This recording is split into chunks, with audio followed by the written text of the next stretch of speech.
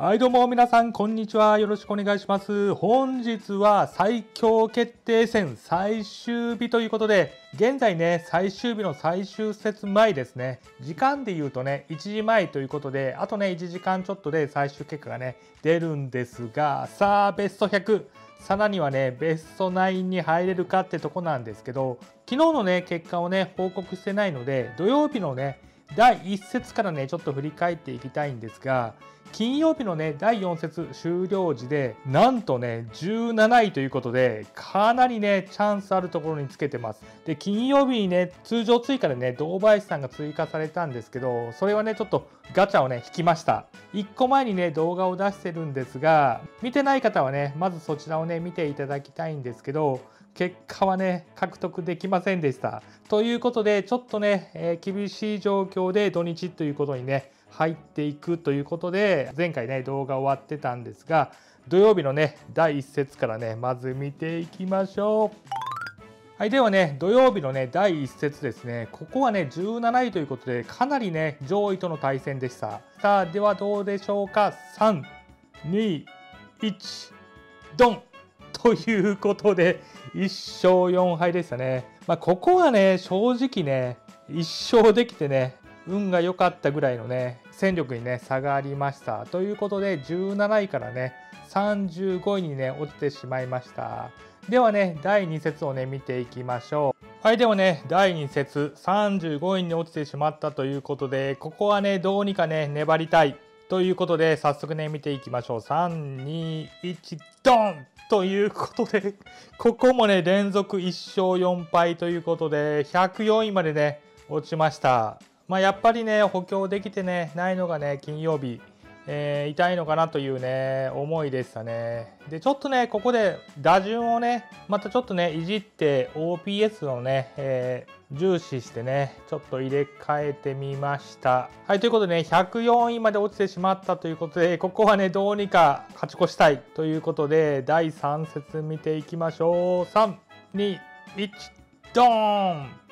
はい、5連勝ということで、一気にね、またね、38位までね、上がりました。ここら辺はね、ほんと5連敗、5連勝でね、かなりね、変わってくるので、結構ね、怖いですね。ということで、第4節ですね。はい、38位までね、上がってきたということで、ここ次第ではね、またベストナインがね、狙えるということで、見ていきましょう。3、2、1、ドーン5連勝ということで、連続5連勝でなんとね、11位、金曜日終わって11位ってことに、ね、なりました。ただね、えっ、と、次のね、また日曜日、第1節が超ね、上位マッチング。えー、またね、山ちゃんさん、サゴマンさん、ヤニさん、ハブボールさん。ハブボールということは、渡るがピュンですかね。僕ね、野球漫画でメジャーに次いでね、ハマった漫画なんですけど、まあ、皆さん年代的に知らない方もね、多いかもしれないですですね。めちゃくちゃ面白いのでね、機会があればね、ぜひ見てください。えー、ヤシロさんということで、またね、5連敗しそうなね、メンバーということで、日曜日のね、第1戦。ここをもしね、勝ち越すようなことがあったら大変なことになります。見ていきましょう。はい、ということで日曜日のね、第1節ですね、えー、超上位マッチングということで、さあ見ていきましょう。3、2、1、ドーンはい、1勝4敗。まあ、ここもね、1勝できてね、まあ、良かったんじゃないかなと思います。ただ順位はね、35位ということで、次がね、大事ですね。はい、日曜日のね、第2節ということで、ここがね、大事になります。ここをね、勝ち越すようなことがあったら、まだまだね、ベスト9狙いますし、ここをね、負け越すようだと、ちょっとね、ベスト100が危なくなってくるという大事なね、第2節、3、2、1、ドーンここもね、1勝4敗ということで、81位までね、下がりました。日曜日のね、第2節を終わって、81位ということで、結構ね、厳しい状況にね、立たされてきました。第3節を見に行きましょう。はい、勝負のね、第3節。ここでね、もうあと2節なので、ここでね、勝ち越しておかないと厳しくなります。さあ、どうでしょうか？3、2、1、ドン。4勝1敗。良さそうに見えるんですが、実はね、結構危なくて、まずね、100位とのね、差がね、1勝ぐらいしかないんですね。で、このね、次のね、対戦相手、アマトリチャーナさん、ヒデミックスさん、えー、大阪赤恋クラブさん、田代、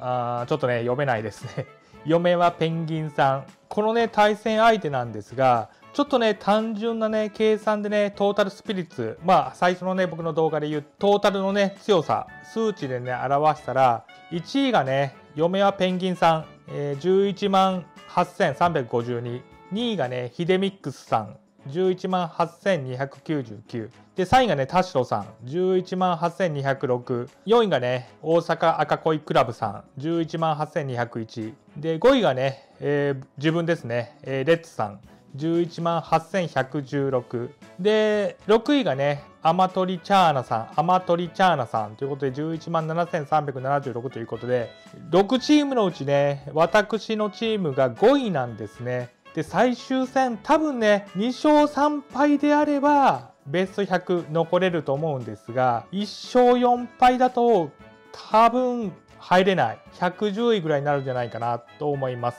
で5連敗だと、まあ、間違いなく入れない。チームのトータルねスピリッツで見た時には1勝4敗のね力関係ということでいやこれはね結構厳しいんじゃないかなと個人的にはね思っております。ということで、いろいろね、考えました。自分よりトータルスピリッツが下なのは、アマトリチャーナさんなんですけど、そのアマトリチャーナさんのところに、エースのね、私のエースの森下さんをね、ぶつけて、もう確実にね、とりあえず1勝取りに行くか、それともね、えー、5連勝をね、狙った戦法でいくか、っていうことをちょっと悩んだんですがあ、やっぱりね、5連勝をね、狙いに行きます。いろいろね、考えて、このね、対戦投手にね、しました。あとはね、えー、願うばかりですね。で、打順もですね、能力だけを見てね、打順を決めるか、まあそのね、大会の OPS を等を見てね、打順を決めるかね、いろいろ迷ったんですけど、最終的にはね、総合値ですね、えー、ミートパワーのトータル数値と、この大会でのね、OPS の高さをえーと、総合してね打順を決めました。最終的にねこれにしました。1番ね丸さん。まね能力がね一番高い。で2番ね菊池さん。右打者でね2番目に OPS が高かったですね。で秋山さん。左打者で2番目に OPS が高かった。で4番ね新井さん。新井さんがねこの、え、大会通じてね一番 OPS がね高いですね。で能力も高いんで、まあ、一時期ね2番で使ってたんですけど2番に入れると結構ね打ってなかったのでちょっとね2番菊池さん4番ね新井さんにしました。で5番は左打者で3番目に、えーと、OPS が高かった坂倉さんですね。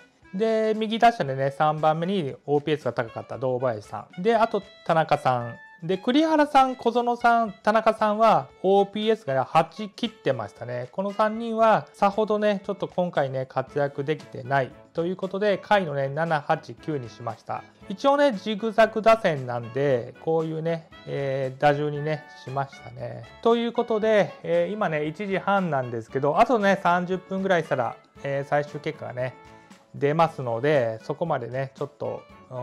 時をね、飛ばそうと思います。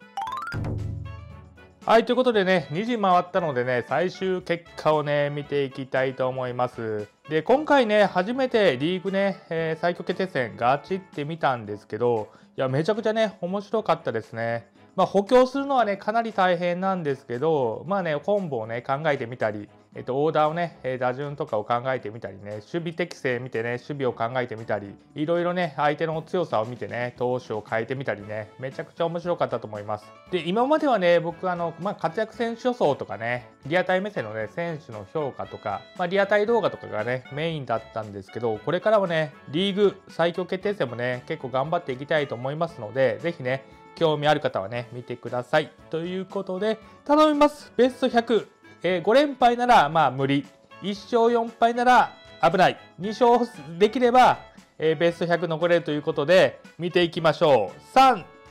2、1、お願いします。いや、2勝してる。いやアマトリチャーナさんと嫁はペンギンさんに勝ってますね。いやエースのね、森下さんがやってくれましたね。あ嫁はペンギンさん延長で勝ったてる紙一重ですねいやーこれは嬉しい、えー、64位ということでねえー、当初目標にしてたね、ベスト100をね、達成しました。ということでね、皆さん何位でしたかね、えー、順位をね、え、コメント欄に書いてくれると嬉しいです。皆さんお疲れ様でした。広島ね、純正の方、今回はね、大変ありがとうございました。あこれからもね、えー、プロスピね、楽しんでいきたいと思います。で、次はね、スピリーグ予選がね、9月8日から始まるので、えっと、数日後にはね、スピリーグ予選のリアタイム線のね、ガチオーダーをね、見せていきたいと思います。で、今度はね、えー、リボンですね、ベスト10をね、狙って頑張りたいと思いますので、そちらもね、ぜひ皆さん見てください。ということで、えー、皆さん1週間お疲れ様でした。今日はね、これで終わろうと思います。じゃあね。